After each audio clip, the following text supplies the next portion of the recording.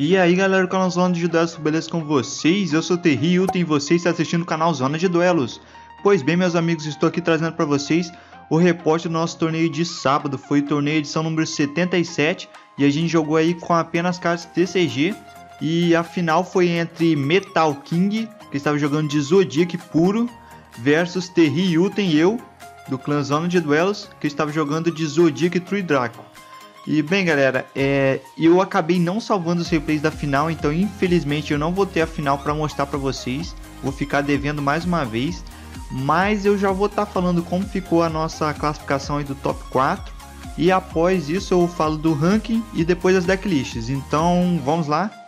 Em quarto lugar ficou o SamBR jogando com o deck Windwitch Luna. Em terceiro lugar ficou o Easy jogando com o deck True Draco. Em segundo lugar, fiquei eu, Terry Yuten do clã Zona de Duelos, jogando com o deck Zodiac True Draco. E em primeiríssimo lugar, Metal King, jogando com o deck Zodiac Puro.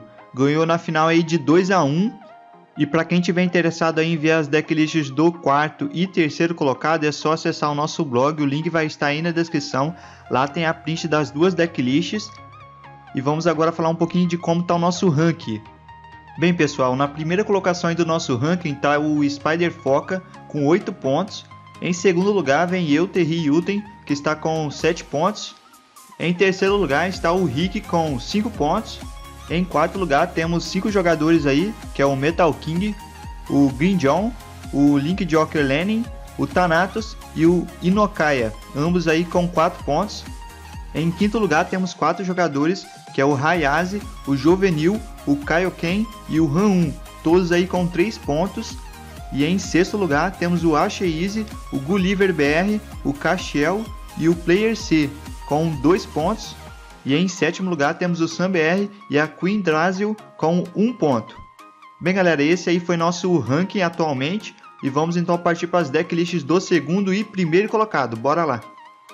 Beleza, então pessoal, estou aqui com a decklist do segundo colocado, que foi no caso eu.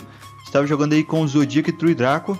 E bem galera, vou estar comentando aqui alguns pontos do meu deck, o porquê de eu usar certas cartas. Então temos aqui os Zodiacs, né? Estou usando dois Blade, três Viper, dois Han-Han, três Hatchfire. E bem, é de 3D que eu só estou usando aqui o Masterpiece. Estou usando aqui a Spell Heritage, duas. E duas daqui do Revival Tree King que é a Return.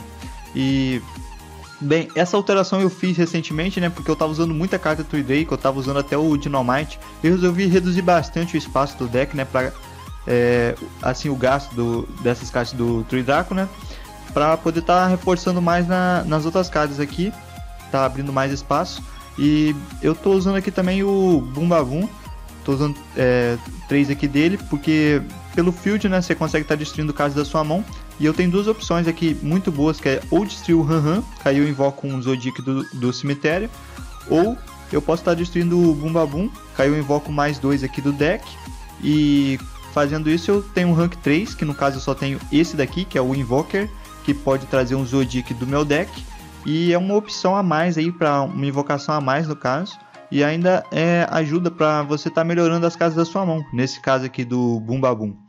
E em relação a spells aqui, é basicamente o deck todo, né? Tô usando uma hijack aqui para eventuais jogos aí que eu comece em segundo. E tô usando a Cosmos Ciclone, que ela é muito boa versus Tui Draco. E o restante aqui é a carta básica, né? Terraform para adicionar o campo quanto antes. Começar com campo é, é, uma é uma ótima uma ótima aí começar com campo, né? Tipo, se eu já tenho um Masterpiece ou uma Spell e mais o campo, eu já tenho garantia praticamente de invocar o Masterpiece. E isso é muito bom, você passar o turno com Masterpiece e com um Trident. Isso é essencial. E em relação ao extra aqui, eu estou usando um Tornado Dragon, que eu acho assim útil até. E no meio do jogo, mais ou menos assim, né? É, ele é, ajuda bastante. E principalmente aí você enfrenta, é, como eu posso dizer assim, decks que usam muitas cartas contínuas. Até o Tree Draco mesmo, às vezes pode te ajudar. Você está destruindo o campo, ajuda de certa forma. E estou usando aqui o restante Zodiac, é, dois Daigusto, um Samurai, GHH. Ele é muito bom, pois é, eu finalizo vários jogos com ele. Ele é essencial para estar tá reduzindo todos os pontos de vida do oponente de uma só vez. E, bem, em relação ao side deck, estou usando aqui os três Kaiju e duas Slumber, dois aqui Draw and Lock Build. Isso daqui é muito bom para enfrentar deck é, Pêndulo Magician, deck é, Zodiac mesmo, adiciona muita carta também, depende, você pega no combo lá, o cara ativa tank, você já descarta ele, e aí depois ele não vai conseguir adicionar com o Brood Bull, né? Isso é, atrapalha bastante, não vai também conseguir usar o efeito do Daigusto Emerald. E eu até cheguei a usar isso no, nos duelos que eu tive recentemente e funciona bem. Estou usando aqui uma cópia da Ash, só para cobrir espaço mesmo, eu estou com duas aqui, às vezes de repente eu pego um deck Dino, por exemplo, eu, eu já uso ela, é, uma cópia a mais, né, para ter mais garantia. Geralmente no quando eu sei que eu vou ser o segundo a começar, né, eu puxo ela para lá. E tô usando o Flying Sea, ajuda bastante também. E My Bold Azan Shield. Essa carta aqui eu até gostaria de achar um espaço para colocar ela no main deck, né? Mas por enquanto eu deixei ela aqui no, no side, tô usando o side. E tem aqui uma Imperial Warden que funciona bem quando você está jogando de Draco. E bem, acho que é basicamente isso. E eu vou estar tá mostrando agora para vocês a decklist do primeiro colocado. Quem quiser estar tá baixando a minha decklist, pode estar tá acessando aí a descrição do vídeo pode estar tá baixando aí, eu não coloquei a Defly na, nem nada, é só você clicar ali e já baixar direto, tá no Mega. E bem, vamos lá para a decklist do primeiro colocado. Então vamos lá, estou aqui com a decklist do primeiro colocado, que foi o Metal King, estava jogando aí com o deck Zodiac puro, e o main deck dele aqui tem 41 cartas, como vocês podem ver, e ele está usando aqui o Zodiac na mesma quantia que eu usei até, está usando as Hand Traps, 3 Vash, 3 Ghost Orb, uma Maxi, tá usando Hijack, tá usando uma cópia da Sluffer Reborn, que é uma carta que a gente está vendo sendo bastante usada aí, principalmente em Zodiac puro, né? Está usando aqui duas Desires. É, eu achei assim, eu não gosto de usar Desires em Zodiac, dá assim muita insegurança na hora que você ativa. É, geralmente, para quem está jogando de Zodiac, né, vai só ativar ela após você fazer o combo, né?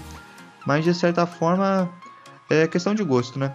Tá usando aqui uma Dark Hole, tá usando uma Soul Charger, duas Cosmic Cyclone, uma Book, duas Forbidden Calice, duas My Bold Azan Shield, três da barragem, três Tank, uma Tribute, uma Trap aqui do Zodiac Combo, três Solen Strike e uma Solen Warning. Bem, esse é o main deck dele.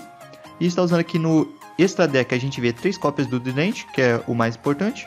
Depois vem o Brood Bull, que também é muito importante pro deck, ele está usando três cópias. E depois aqui a gente vê uma cópia aqui do é, Board Brawl, duas do da Laika, uma aqui do Hammer Conk, duas da Tiger e dois da Gusto e um Tornado Dragon. Esse é o extra deck dele. E já o side aqui a gente vê dois Kaiju Game Cell, duas Flying Sea, duas Team Twister, uma My Bold Shield, que no caso é a terceira aqui do deck dele.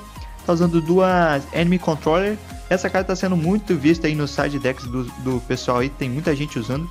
É uma carta assim que tem dupla utilidade, né? Você pode estar tá mudando a posição de, de, um monstro do oponente, ou pode estar tá tomando controle de um monstro dele, tributando um monstro seu. Isso é assim, tem usos muito variados, né? Você pode estar, tá, por exemplo, tomando controle de um Headpire na, no momento que o seu oponente está começando a fazer o combo e, tipo, separa o combo dele só com essa carta aqui, ó.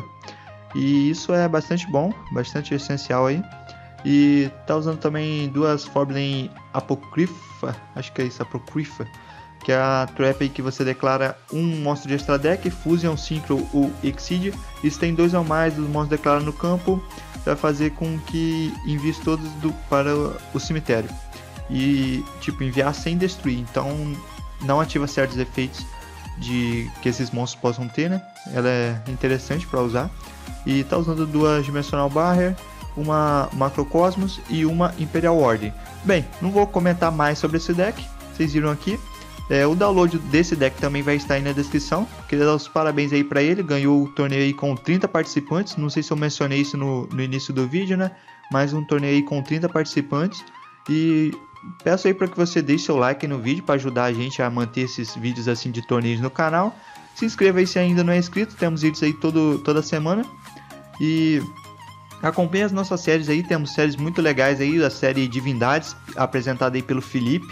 E tem também vídeos de top 10 que eu faço aí frequentemente, toda semana. E participe dos nossos torneios, entrem no grupo do Discord, vai estar o link aí na descrição. Que provavelmente o próximo eu vou estar usando o Discord de certa forma, eu vou pensar ainda como eu vou fazer.